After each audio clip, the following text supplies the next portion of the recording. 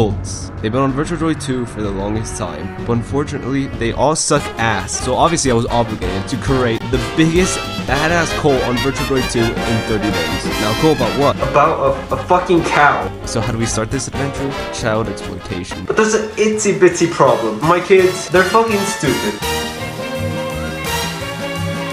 Yeah, and he was like, come here, Sonny boy. you funny boy, baby. Why would he do that? He's El Fagendo. Guys, shut the fuck up. We're gonna go on a trip, alright? We're gonna go on a little fancy trip, and we're gonna invite people to a cult. Why? Shut the fuck up. You're a disgrace. You don't have to ask questions. You can't talk, you get no bitches. Shut the fuck up. Don't talk to me like that. Misha, this is all your fault. Okay, so where are we going to go on this adventure? It, it's a surprise. McDonald's, you need to join the cult. I want, I want that McSpecial. I got a big slap. Why me down don't answer me? You brain I'm cells. gonna use the bathroom. Look out! Shut up, you disgrace! You came out of nowhere, interrupting me. Anyway, sorry about that, fuck McDonald's.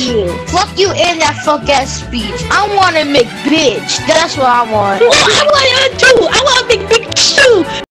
Yeah, things might not be going my way, but at least there's a familiar face. General? Join the cow cult. We give a lot of milk. I mean, okay. Oh, stop raping the knuckles. He's just a new member, no? I got birthday bitch. Do you need it? Yes. Hey, good. I'm gonna snort the Nazi remains. The one with the hat. Join the cult. If you don't, my father will beat me. Look, you'll be loved in this cult. You'll have the family you never had. Other than that, you'll have free milk. And I won't beat the shit out of my son, so... Okay. Look how fun, look how much fun they're having. That could be you. Circle, everyone in a circle. I don't know what the circle. You don't show me my shape. We need to recruit as many people as we can into this cult. I'm in charge. You're not in charge. The last time I left you in charge of your brother, you literally burnt the house down. And don't forget I ate him. We don't talk about that. Still miss him. He had a higher IQ than you. I'd say this is a pretty efficient day. More of the story, child labor is overrated. But there's something better than child labor. That's for tomorrow. So, see you tomorrow.